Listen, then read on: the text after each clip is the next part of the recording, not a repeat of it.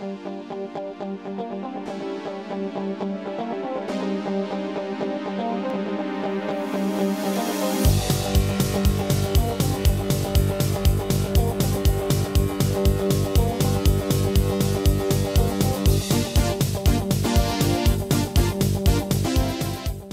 Herzlich willkommen mal wieder zu einer Ausgabe von Kaulis probiert es aus und zwar diesmal mal wieder einen gesüßten Whisky. Irgendwie haben es mir die ja angetan und im Regal gab es wieder was Neues, nämlich Jack Daniels Tennessee Honey.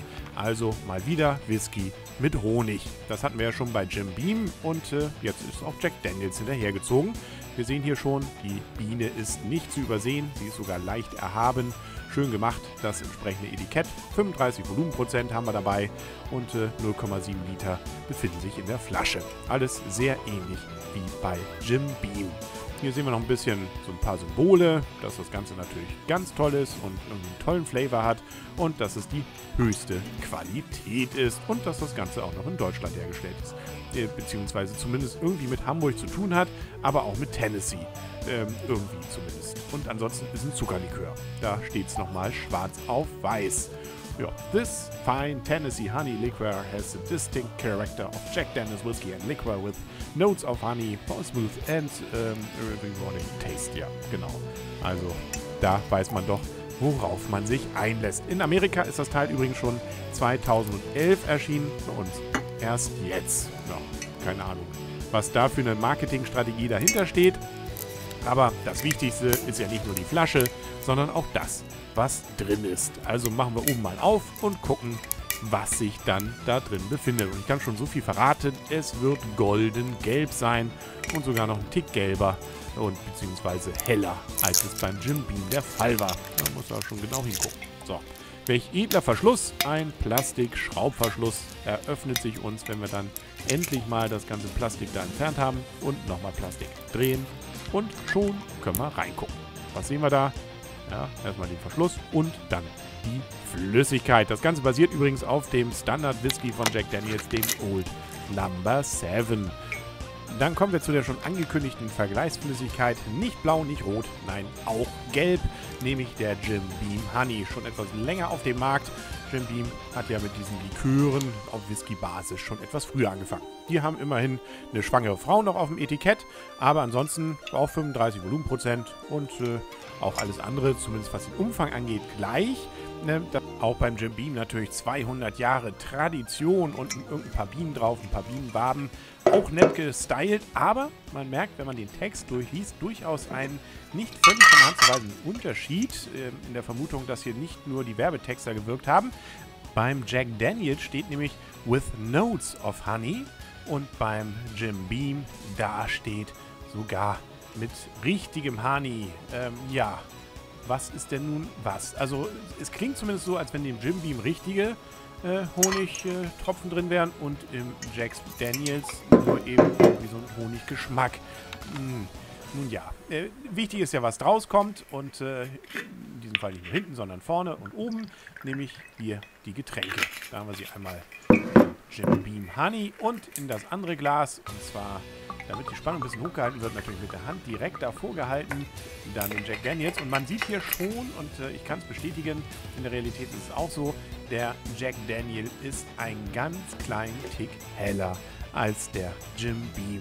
Ja, man muss allerdings schon sehr genau hingucken. Und ob das jetzt den Ausschlag gibt, äh, da wäre ich jetzt mal skeptisch. Ja, aber flüssig sind sie beide, ist also nicht nur Honig. Und jetzt gucken wir uns mal den Test an.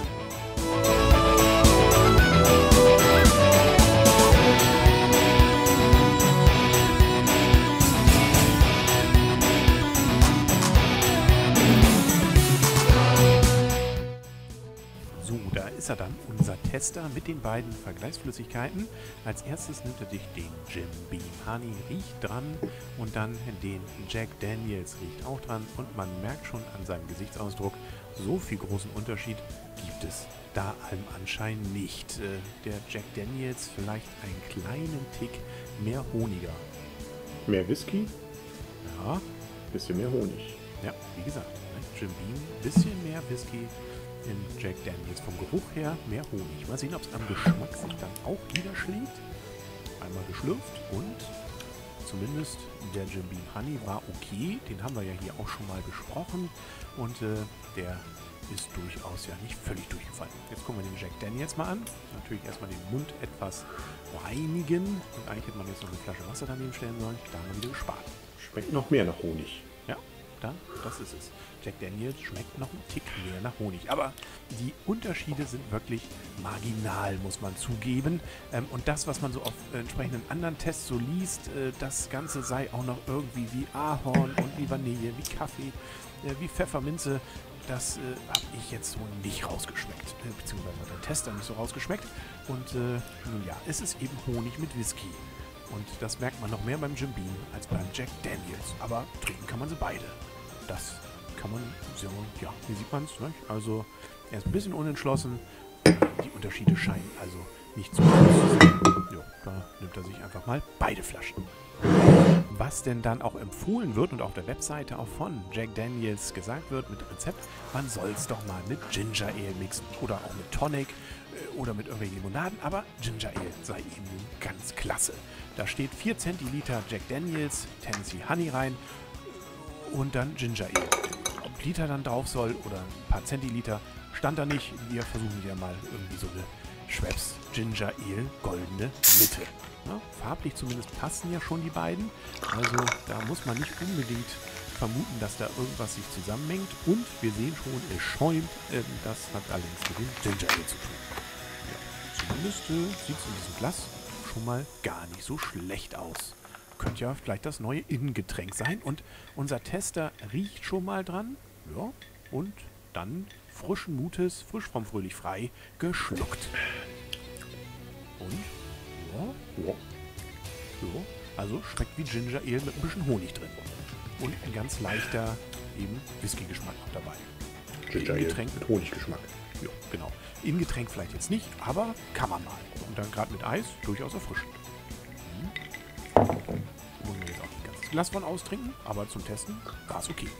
Also, kurz gesagt, so viel Unterschied zum entsprechenden Honey von Jim Beam gibt es bei Jack Daniels nicht, der allerdings trotzdem noch ein bisschen teurer, zumindest in meinem Laden war. Und äh, ja, mit Ginger Ale durchaus mal eine Versuchung wert.